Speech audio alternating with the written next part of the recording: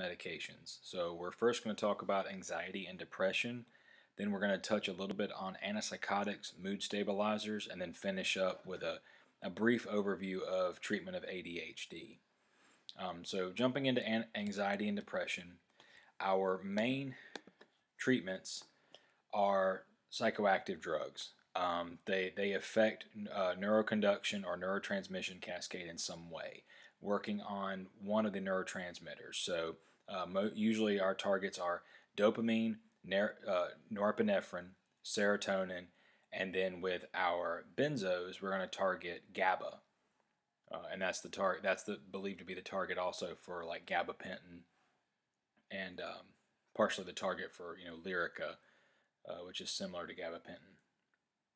So the classes uh, that we're going to use to treat anxiety and depression are SSRIs or selective serotonin reuptake inhibitors, SNRIs or serotonin norepinephrine reuptake inhibitors, or we have a some other medications that are non-selective norepinephrine serotonin reuptake inhibitors and a few other atypical um, mechanisms of action. So we're not going to go very much into benzos here because I believe you've y'all have covered benzos pretty um, thoroughly on your anticonvulsant lecture. Um, so we're yeah, so we're we're basically benzos are used to treat you know as needed symptoms of of anxiety. You you don't really want to use benzos scheduled for anxiety. You could um, if if necessary, but we'd like to use some, uh, an antidepressant for treatment of anxiety. And now, when you get into you know, for those of you taking the psychopharmacology class in the summer, it'll get in. We'll we will get into you know which medications are approved to treat social anxiety disorder, panic disorder, um, you know, obsessive compulsive disorder, and general general anxiety disorder.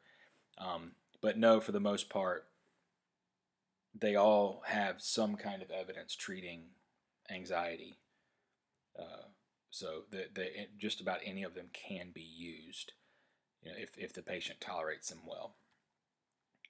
So we also have nor, norepinephrine dopamine agonists, serotonin agonist reuptake inhibitors, norepinephrine and serotonin agonist, MAOIs or monoamine oxidase inhibitors, and then obviously benzos or GABAergics um, that work on GABA receptors, which you know the GABA, um, as our neurotransmitters go, GABA is the inhibitory transmitter that we think about. So think about it in this way: GABA slows you down, calms you down and glutamate is its opposite, which is excitatory. GABA or glutamate hypes you up. So glutamate and GABA are are opposites in that way. So here is where all these blue slides are slides that I've put in here. I've pulled some of the the slides from my lectures from the psychopharmacology class. Um, not all of them. We'll go more in depth comparing all of the SSRIs and SNRIs and and um, kind of when to use which ones more, you know, in comparison. But um, we're going to go over the blue ones, and then I'm going to skip over the ones that your that, that came with your book, the ones with the white background. There, it's good information, but I just like the order that these go in. Um, I just don't quite understand the the order of the classes of medication that your that your book go talks about because you know there's it definitely mentions trazodone and MAOIs and medications we don't use for depression really anymore before SNRIs and, SS, and, and SSRIs, which are our two of our you know mainstays, along with bupropion and mirtazapine. So we're going to go through the blue slides and we're going to skip all the way down pretty much to um, antipsychotics. But please do read those slides. They're important. It's just a different way of getting the information. So, duration of treatment. It depends on the risk of recurrence. Not necessarily a lifelong treatment, but if a patient is um, under 40 years old, has had two or more previous episodes, or a person at any age with three or more episodes, they do recommend lifelong therapy. Treatment options are medication, psychotherapy, combination therapy. I high, it, it's it the most effective treatment you're going to get is if a patient will get psychotherapy, you know, counseling along with medication. Psychotherapy beats medication every time they're tested against each other for depression or anxiety. Psychotherapy is always more effective. They're most effective when done together. But why? So then, why don't people do psychotherapy as much? Well, it's harder. You have to go every week, every t- couple times a week to see your counselor, your psychiatrist, your psychologist. You have to practice the skills. You have to um, continue going, and or for medication, most of the medications are generic. I can get a month's worth, possibly 90 days worth, and I can just take the pill, and um, and it helps. So it's just easier to get the medication. Um, you know, so there there are there are lots of things that play into it, but absolutely combination of psychotherapy and medication is the most effective by far. So wh- where do you make your initial medication choice? Because all of our classes of antidepressants are equally effective in comparable doses for depression and and for some most of them for anxiety. So what do you look at? You look at familial history of antidepressant. If they have a first degree relative who responded well, they're likely going to respond well to that one also. Concurrent medical history, presenting symptoms, whether it's agitation and kind of a nervous anxiety or a, um, or depression, or is it fatigue, malaise, and an apathetic depression? potential drug interactions, adverse events profile, because they do vary from class to class, patient preference, and then cost.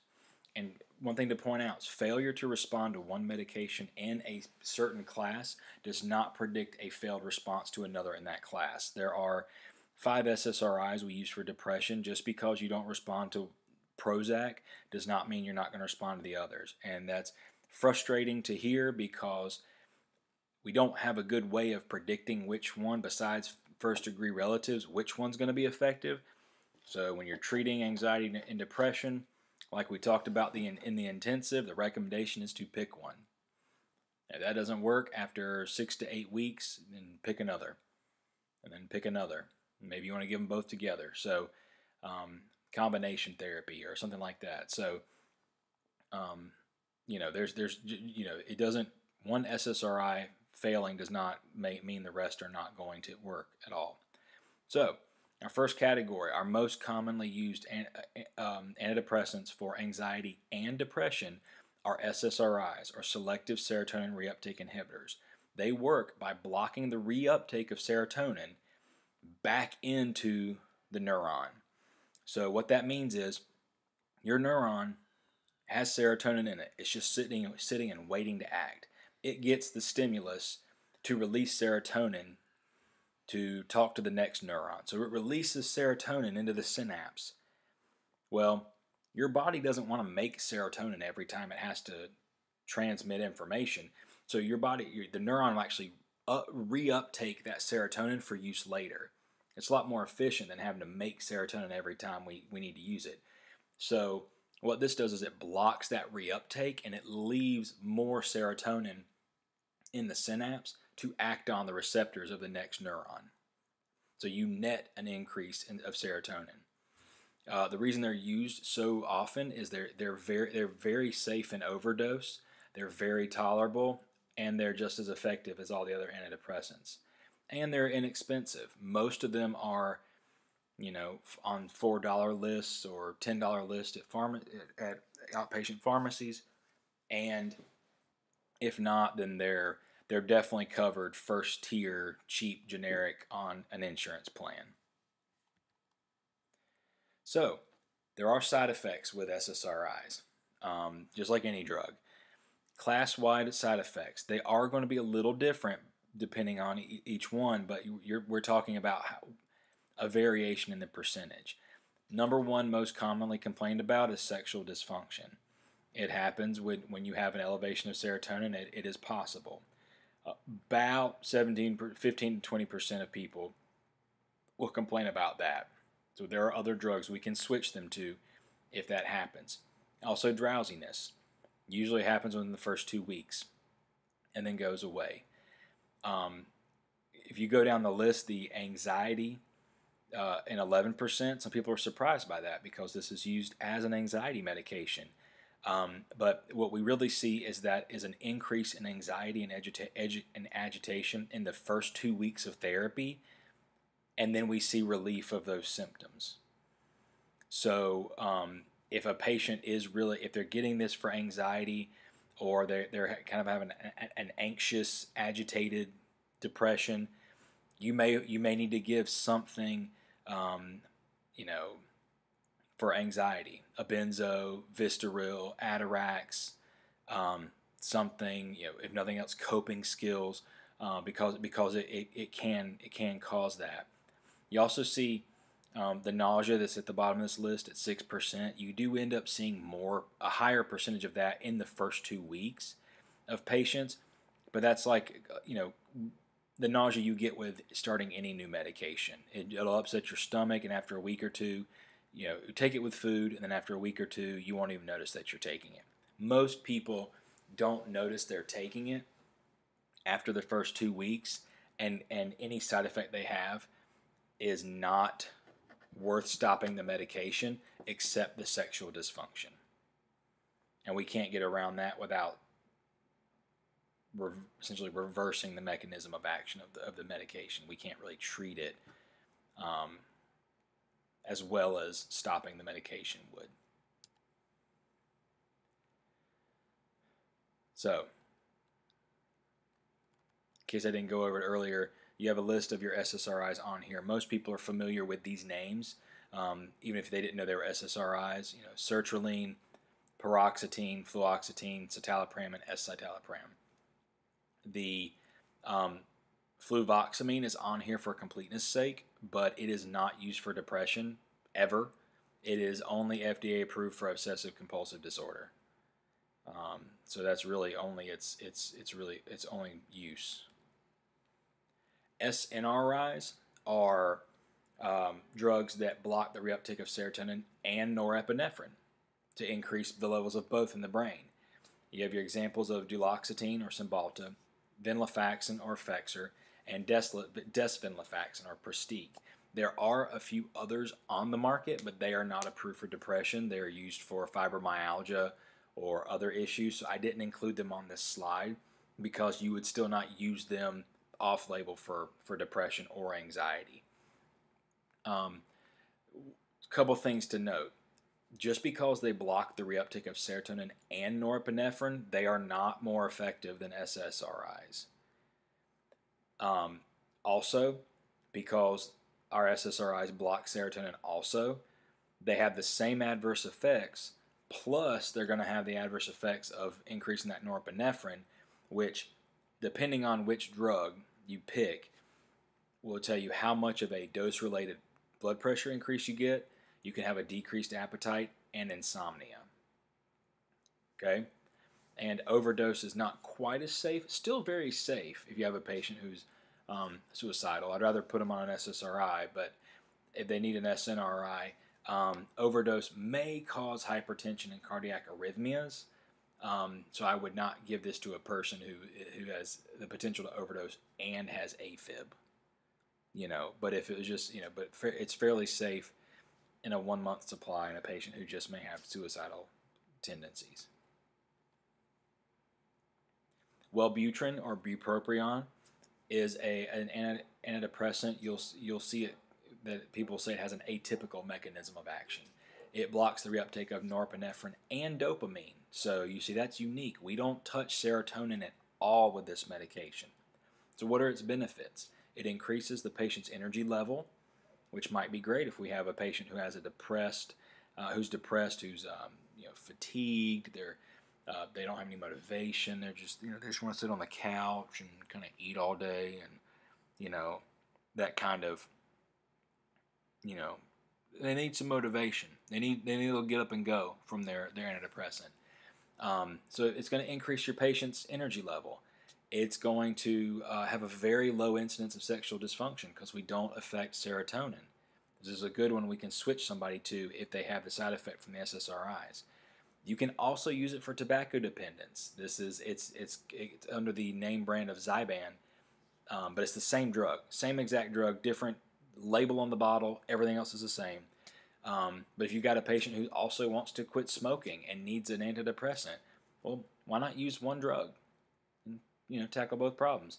And it can cause weight loss because it's going to have an appetite um, decrease, and um, and boost their energy level.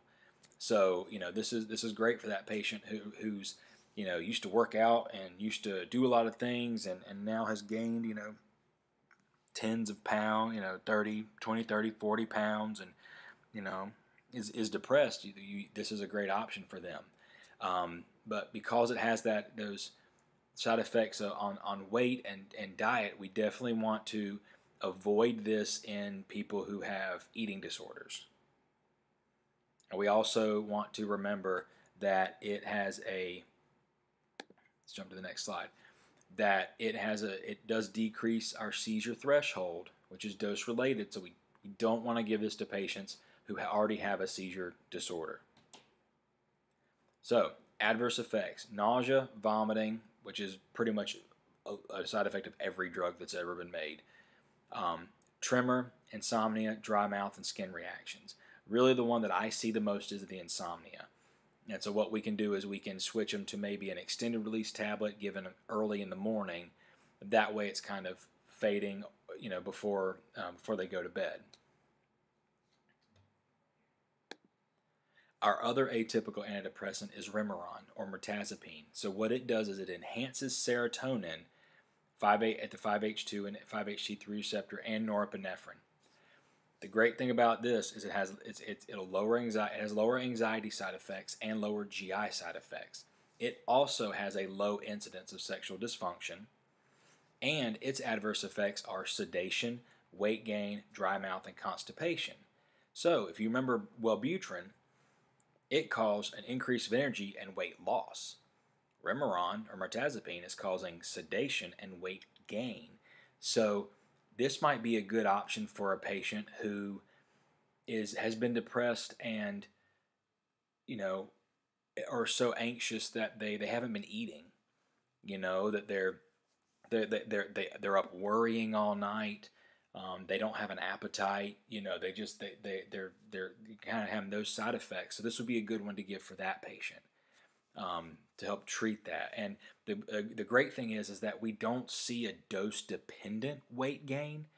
You actually have less weight gain at higher doses. So we can we can increase a patient. You know, let's say they've gained five pounds and they're on, you know, Remeron 15 milligrams, and they're they're like, oh, I've gained five pounds, which is good, but I don't I don't want to gain too much. But we don't have to worry about bumping them up to 30 or 45 milligrams because we're not going to have a continued weight gain with the larger doses. So a, this is a, really good one also, depending on how your patient presents. Now, we're going to get into some other ones, some other medications that are not going to be used nearly as often. The ones I've mentioned before are our kind of our, our, our definitely our first line antidepressant, anti-anxiety medications, anti-anxiety maintenance medications. Um, we would still possibly need something PRN, you know, a, a benz, short-acting benzo, Klonopin, Ativan, preferably not Xanax because Xanax is habit forming and, and just you know works too quickly. I think, um, you know, and then something long longer term like Valium is probably a, a longer acting is, is is too long acting. We want something that's that's quick you know, like a, like one of those benzos I mentioned, or Vistaril or Atarax, which will help. So our other ones, trazodone and nefazodone. You don't see these used as often anymore, um, except for you'll see trazodone used for sleep. Now the the sleep dose of trazodone, we're at 50 milligrams, is a drop in the bucket compared to the antidepressant dosing. The antidepressant dosing of trazodone is, you know, six to 800 milligrams. So where you're really going to see the most effect. So most patients have a hard time tolerating up to that dose before they get before they have side effects because it causes orthostatic hypotension, sedation, cognitive slowing, and dizziness. And then each one has its own precaution, where trazodone can cause a priapism and nefazodone can cause liver toxicity. So if you notice here, we're starting to get into some more uh, more severe side effects. Um, with again all antidepressants are equally effective so we're not getting any extra benefit but we are getting more more side effects. Um, so you know we have to we have to watch out watch out for that. We have our tricyclic antidepressants which uh, i see a little bit. I'd say You know, if SSRIs, SNRIs, Wellbutrin, and mirtazapine are 92, 92, 93% of antidepressants used, TCAs kind of fall into that other 5 to 10%, whatever that would be. Um, they're, but they're not using, and it's usually amitriptyline. Um, so, and we may be using it for something else, also maybe for some fibromyalgia or something like that. Kind of, kind of trying to decrease the pill burden, but still, again, not commonly used. They th- these two um, block norepinephrine and serotonin reuptake inhibition. So, we're going to get side effects similar to our um, SSRIs, SNRIs: dry mouth, constipation, blurred vision, um, urinary retention, tachycardia, memory impairment, weight gain, sexual dysfunction, again, because we're inhibiting the reuptake of serotonin, and delirium. Um, we also have precautions. Uh, they can cause orthostatic hypotension and they can cause heart blocks and, and arrhythmias. So, just like our previous slide, we're getting um, we're getting more and more side effects, more and more precautions, and that without without a benefit um, you know, so that that risk benefit comparison is is definitely leaning towards risk right now, as opposed to you know what benefit do you gain from it. Um, plus, these have to be titrated or tapered over seven over several days because we don't want patients to have too many side effects when they start, and we also don't want to have you know rebound side effects when we um, we take them off. MAOIs, um, not commonly used anymore. Um, they they because of a lot what we'll talk about in a minute. So they increase norepinephrine, serotonin, and dopamine, but they have strict dietary restrictions. Um, so that you have they have restrictions on foods that, that contain tyramine. So it's um, you know processed cheese and cheeses and meats and um, beer and wine and what else? Um, it's really just easier to, to look up a list of medications. But those are the main ones people most people eat. Um, you have lots of side effects: postural hypertension, sedation, um, you know, deep fever, deep tendon reflexes, hypertensive events, especially if they're if they don't follow the dietary restrictions, met restrictions for medications. I don't see these commonly used. Now, where I do see a medication that acts as an MAOI used is the antibiotic linezolid linezolid does act as an MAOI. So you have to be very careful when you're giving it to a patient who has psychiatric, a psychiatric disorder because you don't want to get serotonin syndrome, which we're going to talk about in a, in a few minutes. Um, you know, so you, you, you have to be careful. Um, linezolid's great because it's uh, it's it, it, covers a lot of it's oral and has a lot of bacteria that it covers that other medications that are only that, that are oral don't. But we do need to keep that drug interaction in mind that you, you cannot give them together. I mentioned St. John's wort here. I, I don't recommend St. John's wort um, for, for depression. Uh, it's not regulated. The efficacy is mixed at best. The doses are not equivalent from manufacturer to manufacturer and don't have to be equivalent from bottle to bottle. And it has significant drug interactions. Um, you know, potentially it has had effects in the past, but I always like to remind people that, especially your herbal components, your vitamins, and all that kind of stuff on that aisle, they get to go on the market until the until the FDA sees that they're unsafe. They do not have to prove any type of efficacy and safety before they get put on the shelf. I think there's too many risks with St. John's wort, not enough benefit to recommend it for a treatment of anxiety or depression.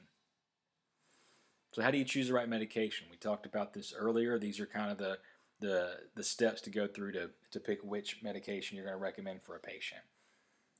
If you want an initial antidepressant choice, here's a good chart to kind of target if you target with certain um, um, if you're going trying to avoid certain side effects or like fluoxetine for compliance issues because it has a long half life. It's great. You can you don't have to take it every day to keep your your keep your you know level up. So um, here's a chart for those on which ones to to target. Here's the the the reverse of that. So which ones do you want to avoid? Maybe want to avoid for certain patients. Um, so this would be just something to help uh, keep with you. So, serotonin syndrome. Serotonin syndrome is a potentially life threatening condition associated with increased serotonergic activity. It causes mental status changes that include anxiety, agitated delirium, restlessness, and disorientation.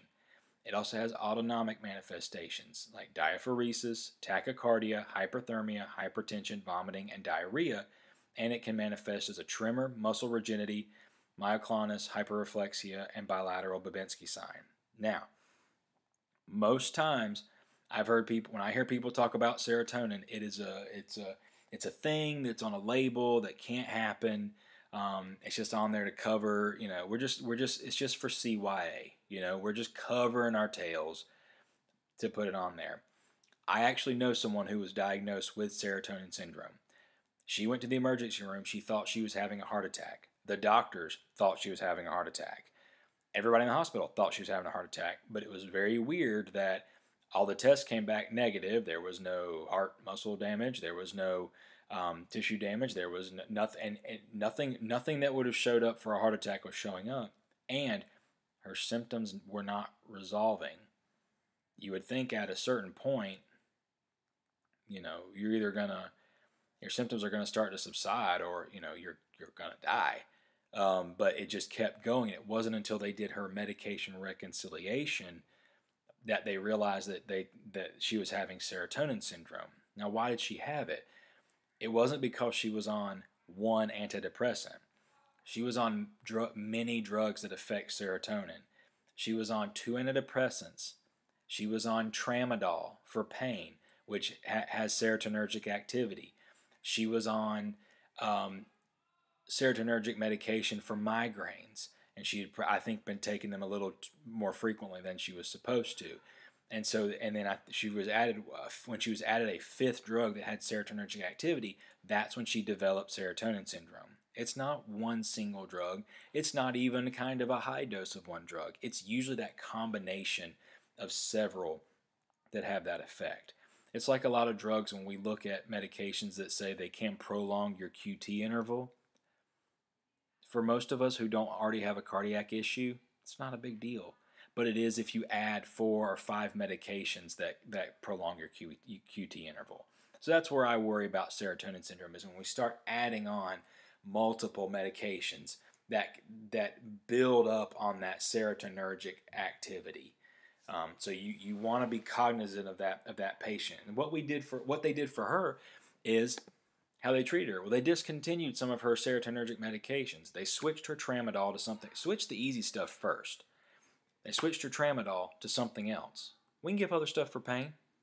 They switched her Imitrex or her, her triptan for migraines to something else, at least for now. And then they tweaked one of her antidepressants, and I believe put her on Wellbutrin as one of them. So we got rid of that serotonergic activity. Her symptoms resolved, and she's been fine ever since. Um, you know, do supportive care for any uh, any any symptoms she's having. Um, you can do cyproheptadine, which basically counteracts the serotonergic activity if support if supportive care is not not helping, and symptoms usually resolve within 24 hours of treatment. Then you obviously want to chart that the patient had serotonin syndrome because you don't you, you don't know who's going to be adding these types of medication because you know, what if she is? What if somebody didn't know she had serotonin syndrome and then started linezolid for a um, an MRSA infection she had? You know, we know linezolid works for it. I'll just give them that, and then she developed serotonin syndrome again. So um, you want to watch out for for that. Make sure you chart in there that it was um, that the patient had serotonin syndrome due to multiple serotonergic medications. So you start a medication you, you know they don't have serotonin syndrome. How do you know if it's working? Um, you're going to see some symptom improvement within the first two weeks of treatment.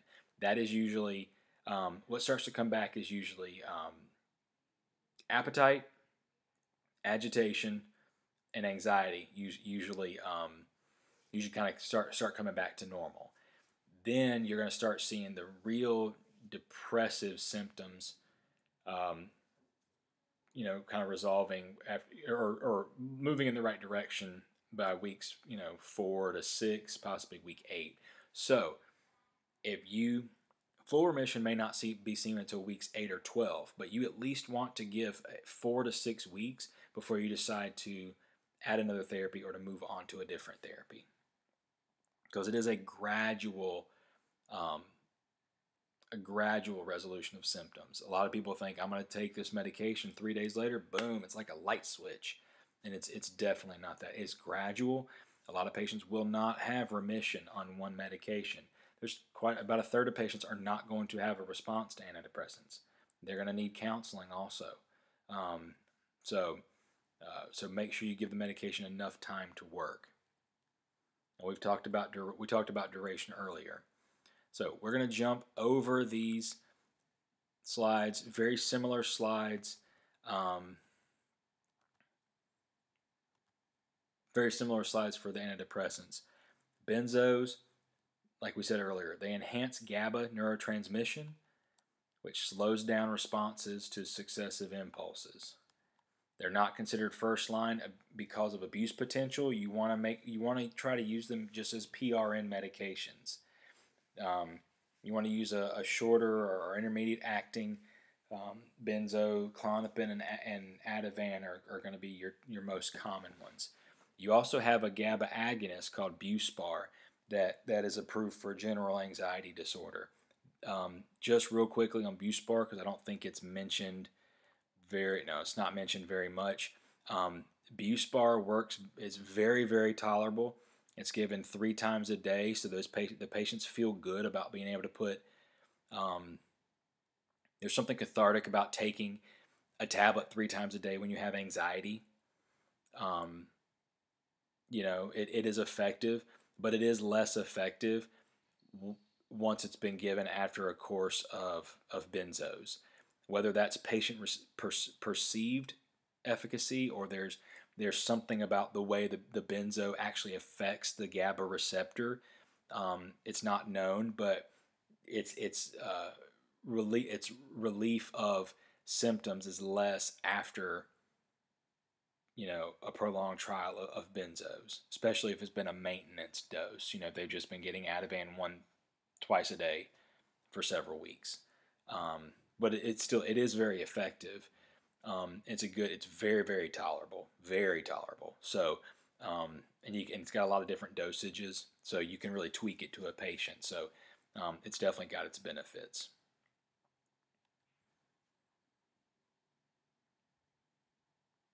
So you can see here they talk about abuse again because um, uh, abuse of benzos is, is, is prevalent, and once patients are on them, they they are not going to be happy when you recommend coming off of it.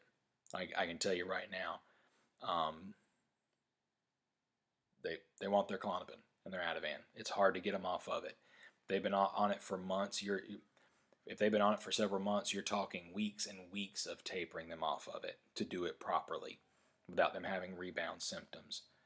Um, you know, it's it's it's not fun if they get on it long term.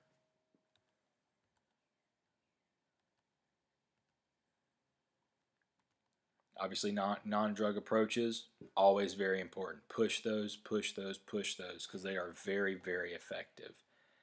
Um, yeah, recommend that your patients get um, some kind of therapy. Monitoring. None of these medications have any type of drug level blood testing that you actually have to do. Um, you want to assess the patient frequently for response, possible side effects, safety, increased suicidal ideation because our SSRIs are linked to um, in adolescence an increased increased suicidal ideation. Now, scares a lot of people. Where the studies that this was done on, there was not an increase of suicidal suicide attempts, or even a higher percentage of successful suicide. But there is there is a link to increased suicidal ideation of the thought of it and that kind of thing. So um, you definitely want to, if you have a patient who's starting one of these, let them know that there's there's support that they can they need to call if they have any any abnormal thoughts or or worsening thoughts.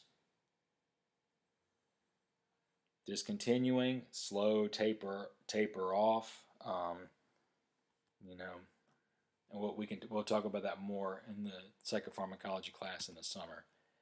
So quickly, antipsychotics. A few, just a few slides, because unless you're doing, unless your your your discipline is psychiatry, you're not gonna you're not gonna be prescribing antipsychotics. Um, we're going to talk about the two, you know, the typicals and your atypicals, or first generations and second generations, and then leave it at that. The summer class, we'll talk about what makes each antipsychotic different because they, they are they are very they are different when you would use them and side effects and drug interactions, things like that. So Antipsychotics were discovered in the 1950s. Chlorpromazine was actually used during surgery, but it was observed to be having antipsychotic effects for patients who had psychotic symptoms. Now, you, we have our typical antipsychotics, which came from chlorpromazine, um, that all work on positive symptoms. So, positive symptoms of schizophrenia, in a nutshell, are like delusions, hallucinations, things that the, the symptom gives you. Um, but they work by blocking dopamine. They block dopamine so that the dopamine can't hit the, rece- the receptors in the brain. But blocking dopamine can also cause secondary negative symptoms. Negative symptoms are what the disease takes away. So, you know, it causes a you know lack of motivation and um, kind of dulls your fight or flight response. So it's you're not looking out for yourself. There's lack of pleasure seeking, lack you don't do the hobbies that you used to do. Um, you know things like that. So, uh, so that's so then we have so your your typicals or your first generations can can worsen negative symptoms, but the thought is with your atypicals that do more than just blocking dopamine that those don't worsen negative symptoms. Um, that I don't know that they make negative symptoms better, but they they um, that's up for debate um, and just is kind of a cir- circular debate between most people. But your typicals can have can make second can make negative symptoms worse. So your typical antipsychotics block dopamine, alpha 1, histaminic, histaminic, and muscarinic receptors. Your dopamine causes relief of positive symptoms. Your other ones can cause side effects, along with the dopamine blockade. Your atypical antipsychotics have an effect on serotonin, along with the receptors mentioned above. Now, all of your antipsychotics have varying degrees of when they hit dopamine, serotonin, alpha 1, histamine receptors, muscarinic receptors, all those kind of things. We'll get into specifics in the, in the summer course. But in a nutshell, your first generation antipsychotics, if they're high potency ones like Haldol and Prolixin, most people have heard of those. They block dopamine receptors, the D2 receptor, and they have very little binding with the other receptors. Their side effects are mainly extrapyramidal side effects, so the movement disorders that come with antipsychotics, and they have very le- they have much less sedation and orthostatic hypotension. Your low potencies block dopamine receptors and have anticholinergic and antihistaminic effects. So they have less EPS, but they do cause more sedation or and sedation and orthostatic hypotension. Most of them are metabolized through cytochrome P450 2D6. It's the only enzyme you have to remember for most of these. And there's no well established therapeutic levels with, with these. You can get a drug level for most of these, and all it's going to tell you is is the patient taking it. Doesn't even tell. I mean, you, you don't you don't know what it doesn't correlate to anything. So I don't recommend doing it. Here's again the side effects extrapyramidal side effects, cognitive side effects, hyperprolactinemia. You will see that in in some patients. Um, obviously, there are different reasons that's bad for males and females. Um, you, have, you can have QT prolongation. That is, uh, jump on my soapbox real quick about QT prolongation. That is a a that is a valid worry that I think most people worry about too much. QT prolongation with most antipsychotics that we still use today is, is about 10 to 20 milliseconds of the QT interval. Now, for most people, that doesn't matter one bit. You know, Haldol is about 10, maybe 15. The only one above it is Geodon, which is an atypical. But where you're going to see that the most is if, if a patient's getting repeated IM or IV doses of Haldol. They you don't see a whole lot of it with the the PO doses. I think people I think it scares people a lot when they see that QT prolongation. I've had I've had people call me from other hospitals asking about it, and their patients on like Haldol one milligram three times a day. And I'm like, oh well, I'm not worried about your QT prolongation. Bump them up to five three times a day. You know, a maximum dose that we want to give is 45 milligrams a day. So they're really giving them nothing. So um, it's a valid concern, something to remember, especially if they have an arrhythmia. But in and of itself, in an oral form, is not going to do a whole lot. So second generation antipsychotics, they are known as atypicals. They are atypical because they also work on serotonin. It's just a term they got when uh, Clozaril came out was the when it was when it came out initially. They have less extrapyramidal side effects. Notice I didn't say none. They have less, and they have less worsening of negative symptoms.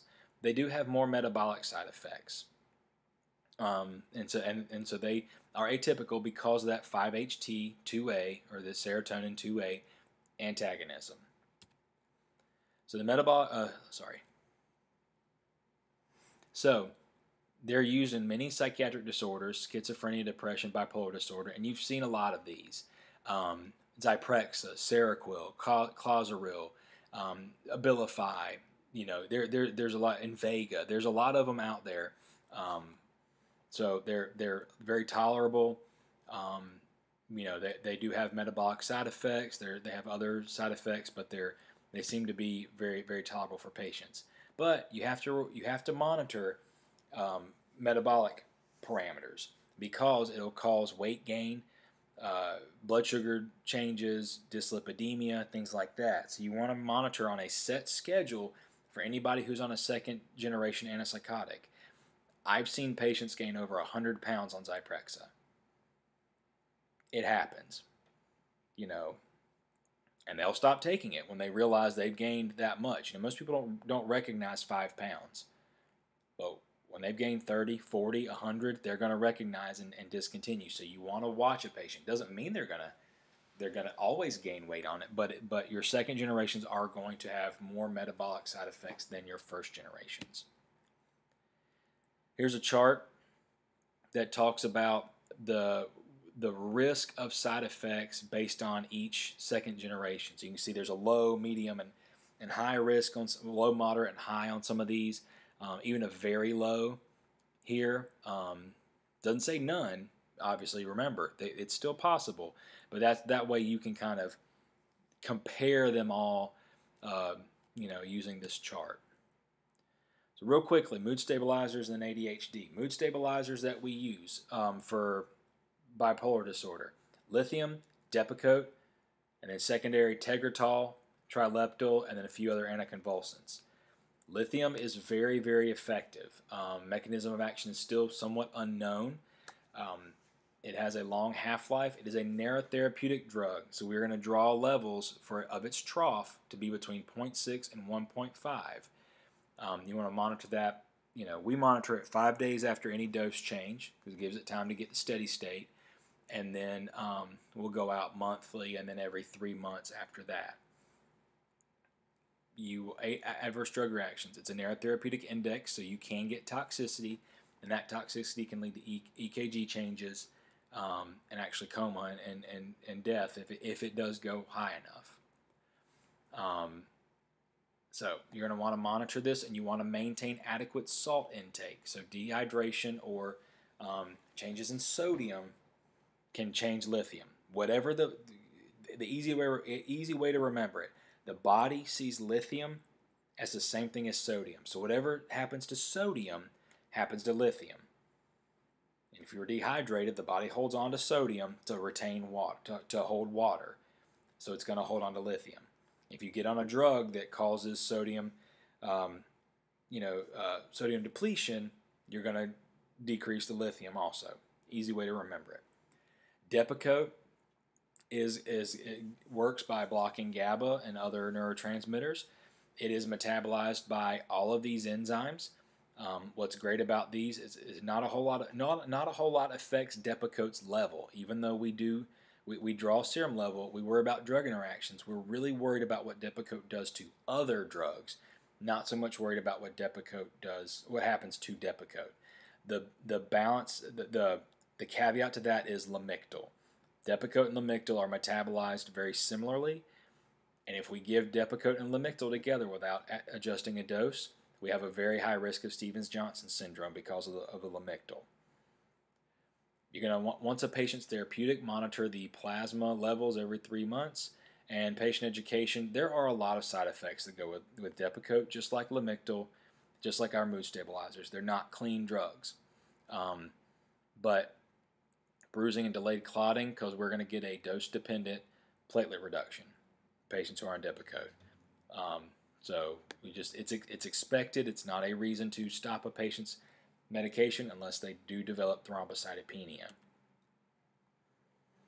Again, here's more on lithium. I'm, I'm not going to read through these. Um, they're they're a good list to keep. You know what side effects to expect, which ones are dose dependent, short term, which ones are long term, um, what the symptoms are, different levels of lithium toxicity. I could read through them, but you know it's everybody can read. You know y'all, and then y'all you keep those for for late use later.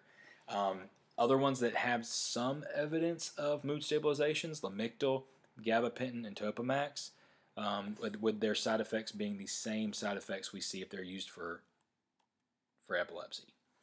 ADHD, this is a quick one because for ADHD we have, let's skip all this. We have two, two types of medication, really three types of medication. Well, stimulants and non-stimulants. In that stimulants, you have methylphenidate and amphetamine. Everything that is written as a C2 for, for ADHD is a derivative of methylphenidate or amphetamine. The only medication that's commonly used um, for ADHD that's not one of those is atomoxetine or Strattera, and it is actually its mechanism of action is closest to an antidepressant, um, dealing with serotonin, norepinephrine, and dopamine. But all of what you see mostly Vyvanse, um, Concerta, Adderall, Ritalin, all the ones that I, I don't even remember their name brands anymore. There's so many of them these days. But they're all derivatives of methylphenidate and amphetamine. So the difference being how many times a day you have to take it, how long acting is it, and then is it which isomer is it? You know, you're kind of you find one that works, then you kind of tweak down to which the exact one you need. If you know once a day, or if you need a, a once a day, and then one that it's also twice a day. You'll also see um, extended release clonidine or extended release guanfacine used. This is secondary if if they're if the patient is treatment resistant because they're not as as um, tolerable. So stimulants. Uh, drug uh, adverse drug reactions, appetite suppression. So you want to, if if you can, um, give them around meals. So what's a good thing to do is, especially a lot of people want to take a once a day uh, ADHD medication. I would too. So like Vyvanse or Concerta, they're given they're given once a day. Well, you may want to give it after the person eats a large breakfast because if I'm going to have if you're going to suppress my appetite for lunch and possibly dinner, well then breakfast is really my only option. So if I can eat eat you know breakfast is my largest meal and then take my medicine, it's affected by the time I get to work or school. So that helps get around the appetite suppression. It can, in overdoses or for patients who shouldn't be on a stimulant, cause tachycardia, dizziness, headache, insomnia, and growth suppression. Um, small amount of growth, growth suppression, but probably not probably not enough height to not be treated if a patient actually has ADHD. Um, your non-stimulant, atomoxetine, you can have increased blood pressure, tachycardia, headache, um, very similar to stimulants and a pro prolonged QT interval. And then your alpha agonist, you're gonna have the same side effects as if they were taking it, taking these for hyper, hypertension. So bradycardia, hypotension, syncope, AV block, dizziness, and drowsiness. It's a rational drug selection. If you have a preschooler, you want first line behavioral therapy. Um, next, dextroamphetamine um, and, and methylphenidate is safe and effective. So, you know, you probably don't want an, an all day extended release stimulant for, for a preschooler. Um, probably something that gets them till till lunchtime is is probably probably plenty. You know that way they still have an appetite for the rest of the day. They still have lots of growing to do. Um, you know, you know, let you know, in the afternoons they're probably playing and not really focused on school anyways. So let them kind of have off periods of, of the medication so that they're not just on it at all times. School age children, stimulants are first line. Choices based on the formulation, so dextroamphetamine or methylphenidate. Do I want to? Do I need a liquid, a capsule, extended release? Um, each one is, is kind of different um, in the dosage form. The duration of action, so do I want to take it twice a day so I get some at breakfast and some at lunch, and it kind of helps me through my classes? Take one a day, and then it's kind of going to kind of wear off toward in the evening. Um, how does that work? And then what pay, what the parent preference is. They may not be able to take a twice a day medication because they can't. They're not there at school to give it to them. Um, and if one class doesn't work, just change to the other. So if you try amphetamine and, and the, the patient gets nothing, no benefit, then go to methylphenidate and its derivatives. Um, they're not the, the just because one stimulant doesn't work doesn't mean the other one won't.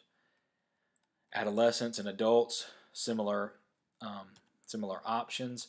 Uh, point out adolescents' potential for abuse and diversion. That's not just adolescents, that's adults also, let's be honest. Um, you know, so, you know, if you want to have the debate on are they over prescribed or, or under prescribed, you know, join the, the long lines of people who, who are, are saying it, but I do think there's a, you know, I think there's I think there's valid points on both sides. You know, now that we know to look for it, we're probably finding more cases. Um, and then there's probably some people, you know, some people who don't need it, but you know, I wouldn't, I wouldn't withhold treatment, you know, or anything because some people, some people can really, really benefit benefit from them. Uh, monitoring, very straightforward. Patient education. Um, you know, I would also on the monitoring, weight and growth velocity are important. Weight being most important. Um, that way you can you can kind of tweak the times of day the patient's getting the medication. Um, you know, and the stimulants are a C a, a, class two controlled substance, so you can only write a one month prescription at a time. Um, and then if you write for three separate prescriptions, you have to date you know date them, do not fill before and write on the prescription. So there's there's a lot of um, regulations that go into prescribing those. Um, that's about it. That is psych in a nutshell, a very brief nutshell. Um, so if you have any questions or anything, uh, shoot me an email.